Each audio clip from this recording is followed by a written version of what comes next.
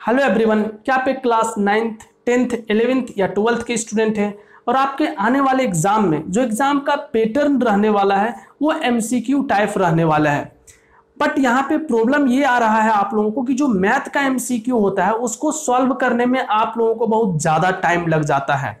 But exam में उतना time नहीं होता है एमसीक्यू क्वेश्चंस को सॉल्व करने के लिए।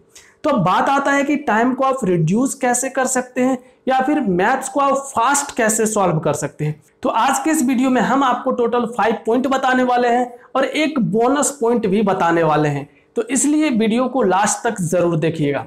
चलिए स्टार्ट करते हैं हम लोग आज का ये वीडियो अब सबसे फ़र्स्ट पॉइंट आता है कंसेप्ट क्योंकि मैथ्स में कंसेप्ट ही सबसे मेन चीज़ है। अब कंसेप्ट के साथ साथ आपको फॉर्मूला और प्लस रूल भी कुछ आद होना चाहिए। अब कंसेप्ट में होता यह है कि बहुत सारे स्टूडेंट को जो टेंथ का कंसेप्ट है, वहाँ पे तो प्रॉब्लम नहीं है बट जो उसका बैकेंड कंसेप्ट होता है, जो बहुत पहले का जो आप कंसेप्ट सीखे हुए, वहाँ पे आपको प्रॉब्लम होता है। तो आप ये कर सकते हैं कि आपको जहाँ जहाँ प्रॉब्लम होते जाता है, उसको आप नोट डाउन करते जाए। और उसको आप एक एक करके सोर्ट आउट करते जाए। और अगर आप वैसे करते हैं तो आपका कंसेप्ट जो है वो धीरे धीरे क्या हो जाएगा? क्लियर होते जाएगा। और बहुत ज़्यादा कंसेप्ट नहीं है। अगर आप कुछ दिन भी ध्यान देते हैं तो आपको पता चले कि हाँ आपका जो पीछे का जितना भी कंसेप्ट है, वो क्लियर हो चुका है। तो ये चीज़ें आप पहले करें कि कंसेप्ट आपका क्लियर होना चाहिए। सेकेंड पॉइंट ये आता है कि आप कुछ स्क्वायर और क्यूब का वैल्यू याद रख सकते हैं। स्क्वायर कितना तक याद रख सकते हैं? आप नॉर्मली 25 तक अदरवाइज़ आप 30 तक याद रखें तो ज़्यादा बेटर है। और क्यूब भी आप कितना तक याद रख सकते हैं? 15 तक।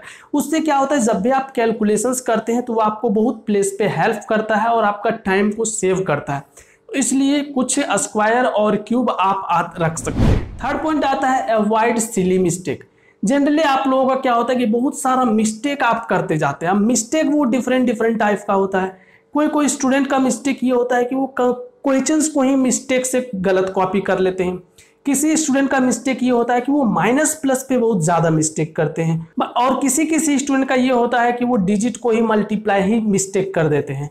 तो अब आप देखो कि आपका किस टाइप का मिस्टेक है। उस मिस्टेक को आप इम्प्रूव करो। जहाँ पे वो चीज़ें आता है, उसमें आप ज़्यादा फोकस करो। सपोज़ कि आप क्वेश्चंस गलत कॉपी कर लेते हैं। तो आप जब भी क्वेश्चंस कॉपी करो तो एक बार उसको रीचेक कर लो या फिर मैच कर लो। तो वो प्रॉब्लम आपका सॉर्ट आउट होते जाएगा। अगर आपका साइन में प्रॉब्लम है तो जब भी साइन आप लिखते हैं तो कंफर्म हो लो कि यहाँ पे माइनस ही होगा, यहाँ पे प्लस ही होगा। तो यहाँ से आपका जो सिली मिस्टेक है, वो अवॉइड हो जाएगा। फोर्थ पॉइंट ये है कि जब भी आप क्वेश्चंस को प्रैक्टिस करो तो विथ टाइमर करो, आप टाइमर लगा लो। आप लोग करते क्या है कि क्वेश्चन सॉल्व करते हैं, बस कोई टाइम बाउंडेशन आपके पास है नहीं। अब एक एक क्वेश्चन में 10 10 से 12 12 मिनट आप ले रहे हैं। वैसा नहीं करना है। अगर आप 10 क्वेश्चंस को प्रैक्टिस करने के लिए ले रहे हो तो आप उसके लिए 20 मिनट का टाइमर लगा लो और आप ट्राई करो कि 20 मिनट में वो सारा फिनिश कर दे। अगर आप ऐसे करोगे तो आप देखोगे कि कुछ ही दिन बाद आपका जो स्पीड है, वो इम्प्रूव होने लगेगा। बट ये चीज़ आपको रेगुलर करना है। एटलीस्ट आप 20 क्वेश्चंस तो पर डे टाइमर लगा करके करो ही करो। और आप देखेंगे कि 10 से 12 दिनों में आप किस प्लेस पे किस प्लेस तक पहुँच जाते हैं। अगर आप ये रेगुलर करते हैं तो फिर पॉइंट आता है कि practice more and more and more questions आप जितना क्वेश्चंस प्रैक्टिस कर सकते हैं, उतना क्वेश्चंस प्रैक्टिस करो। अगर आप 20 कर सकते हैं 20 करो। अगर आप 30 कर सकते हैं 30 करो। फोर्टी कर सकते हो तो फोर्टी भी करो। जितना टाइम आपके पास मिलता है, उतना क्वेश्चंस प्रैक्टिस करो। उससे क्या होगा कि आपका हर एक चीज़ें, एक ही जब आप बार बार क्वेश्चंस बनाओगे तो बार बार कंसेप्ट यूज़ होगा। बार बार कैलकुलेशंस करोगे। और जहाँ पे आप कहीं मिस्टेक करते थे, उसको बार बार रिमाइंड करोगे, ध्यान दोगे तो आपका क्या होगा कि सारा प्रॉब्लम धीरे धीरे सॉर्ट आउट होते जाएगा। मीन सबसे अगर मेन हो तो वो क्या है आपका? प्रैक्टिस करना। जितना प्रैक्टिस करोगे, आपका सारा प्रॉब्लम को सॉर्ट आउट वहीं से हो जाएगा। तो इसलिए आप मिनिमम ट्वेंटी क्वेश्चन तो करो ही करो। और हो सकता है तो ज़्यादा आप करो। अब आता है बोनस पॉइंट का बात। बोनस पॉइंट ये है कि जैसे ही आपको कभी फील हो कि आप कोई कंसेप्ट भूल रहे हैं तो आप उसी टाइम उसको क्या करो रिविजन्स कर लो। अगर आप उसी टाइम उसको रिविजन्स कर लोगे, फिर आपको कभी भी प्रॉब्लम नहीं होगा। एक्चुअल में स्टूडेंट करते क्या है कि उनको फील होता है कि ये कंसेप्ट हम भूल रहे हैं बट वो उसको इग्नोर करते चलते हैं और लास्ट में वो सारे कंसेप्ट को ही इग्नोर कर देते हैं, फिर आपको कंसेप्ट इग्नोर करने लगता है और जब आप क्वेश्चंस बनाते हैं उस समय वो चीज़ें आपको याद नहीं आता। तो ध्यान रखें, जैसे ही आपको फील कंसेप्ट भूल रहे हैं, अब तुरंत से उसको रिविजन कर लो।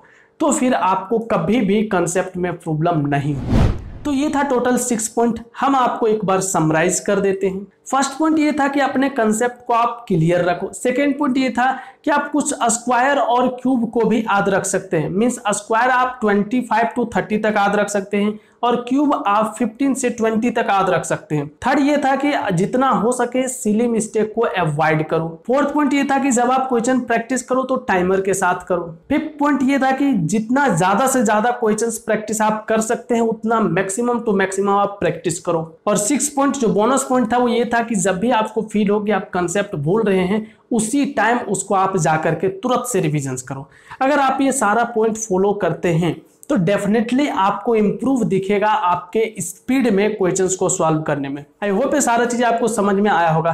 बट आपको कैसा लगा? कमेंट करके ज़रूर बताइएगा। अच्छा लगा तो एक लाइक कीजिएगा और चैनल पे नहीं हुए चैनल सब्सक्राइब कर बेल आइकन ज़रूर प्रेस कर लीजिएगा, जिससे आपको नेक्स्ट वीडियो मिल सके सबसे पहले। चलिए मिलते हैं आपसे नेक्स्ट वीडियो में।